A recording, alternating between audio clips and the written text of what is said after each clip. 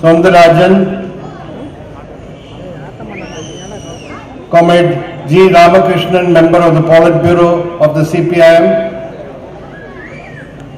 comrade K Balakrishnan secretary of the Tamil Nadu State Committee of the CPIM, Comrade Subbarayan, leader of the Communist Party of India, other leaders of the CPIM on the dais, and dear brothers and sisters. This meeting is being held in Chennai city as a culmination of the week-long campaign conducted by the CPIM here in Tamil Nadu against the attacks on democratic rights and violation of human rights happening here in Tamil Nadu and all over the country. I would like to first of all congratulate the Tamil Nadu State Committee of our party for taking up such an important and vital issue for the people. We are witnessing in India a serious attack on democracy and the democratic rights of all citizens of the country. We have today a government at the center, the Modi-led BJP government, which is instituting an authoritarian regime. We have formally democracy in our country. But in real terms, every aspect of democ- democracy, the functioning of our democratic institutions, and the fundamental rights which are enshrined in the Indian Constitution for the citizens of India are being subverted. This is the experience of the last four and a half years of the Modi government since it came to power. People remember in our country the emergency which was declared by Srimati Indira Gandhi in 1975 when for 24 months civil liberties and democratic rights of the people were suspended. But that was only for a period of less than two years. What we have today is a much more serious situation. It is emergency being institutionalized for the people. The rights of the citizens of our country. What is given to us in the Constitution. The right of assembly, the right to peacefully protest or demonstrate, the right of freedom of expression, all these are in the fundamental rights of the Constitution. But none of these rights today can be exercised by the people. Here in Tamil Nadu, all these trends which are there all over the country are also being manifested here in a concentrated form. Here the AIADMK government is suppressing basic democratic rights of the people.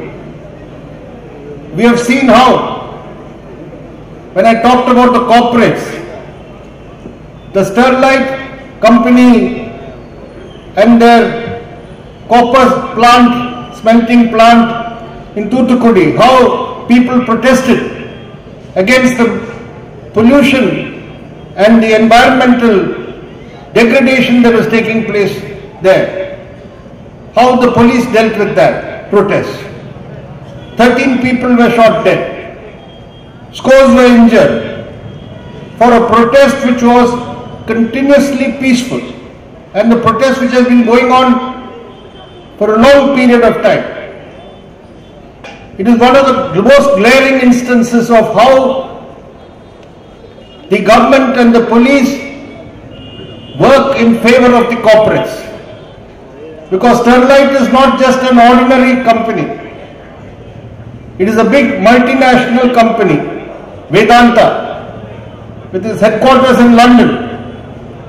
And for Vedanta in Jharkhand, in Odisha, in Rajasthan, wherever they want to get either mining rights or setting up plants like the Sterlite here, we have seen massive attack on the Adivasi people, eviction of the tribal people and the land being given to Vedanta and Sterlite. We are seeing how in the name of new projects, this eight lane highway from Salem I think to Chennai, where land acquisition is involved. When people are affected, raise questions, are protesting, severe repression is unleashed. Nobody can question such projects. Even people who want to go and find out what the situation there is on the ground, they are prevented, they are arrested. And this government has a record. Earlier also, when the Jayalalitha government was there, we have seen how much restrictions have been placed on the right of assembly, the right of organizing peacefully, holding protests. So all the basic rights which are given in the Constitution of India is not available to the people of Tamil Nadu. This cannot be accepted lying down. Any small infringement of the right of the citizens, of the people, of their democratic right, must be resisted and fought. And I am happy that on this very issue today, we are conducting the campaign to mobilize the people to defend the democratic rights and human rights of the people. In our country, since the days of the freedom struggle and after independence, because of the innumerable struggles and movements of different sections of the people, there is a deep rooted consciousness of the people about their right to democracy, about their democratic rights. And it is the people of our country and the people of Tamil Nadu who will protect and defend this democracy. We do not depend on the judiciary or the bureaucracy or the government because these rights have been the hard earned rights of the people through their sacrifice and struggle. And that is why in our struggle for defending democracy and democratic rights, we are confident that the people will come forward to protect and defend democracy and democratic rights. I would only like to tell Narendra Modi and the Bharatiya Janata Party and the ADMK government here. Don't forget what happened to Indira Gandhi after imposing the emergency. The people of this country threw out the Indira Gandhi government as, at the first opportunity they got when elections were held in 1977. And now too, whether it is the Dalits who are facing severe attack and repression when they fight for their rights, whether it is the working class, the peasantry, the agricultural workers, the middle class, different sections of people who are faring, facing the brunt of this Modi government's policies and attack. It is these very people who will come out and teach a lesson to the Modi government and to the ADMK government when elections are held.